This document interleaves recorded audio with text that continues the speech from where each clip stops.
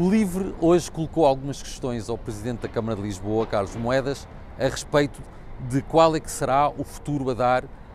à zona hoje conhecida como Aterro de Beirolas, o local onde se prevê irá estar o altar, o palco altar que está a ser planeado na zona norte do Parque das, do Parque das Nações,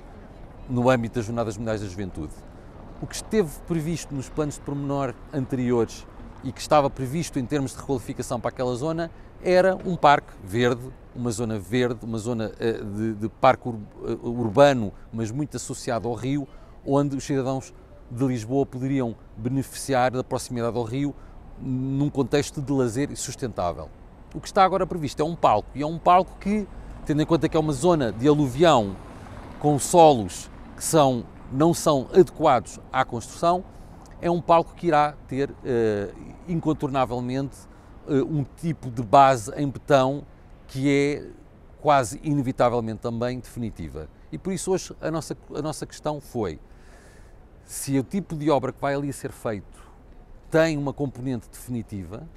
se existe a perspectiva de que ali fique algum tipo de palco para usos futuros, então quais serão esses usos? Será que esses usos serão os de festivais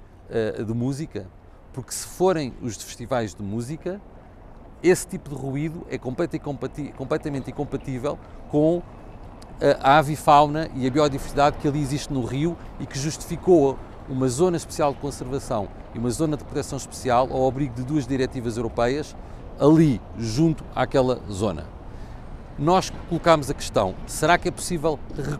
recuperar aquilo que eram os planos anteriores? Voltarmos a ter ali uma zona verde para usufruto dos cidadãos de Lisboa? E a verdade é que a resposta não nos foi dada. Portanto, hoje continuamos sem saber,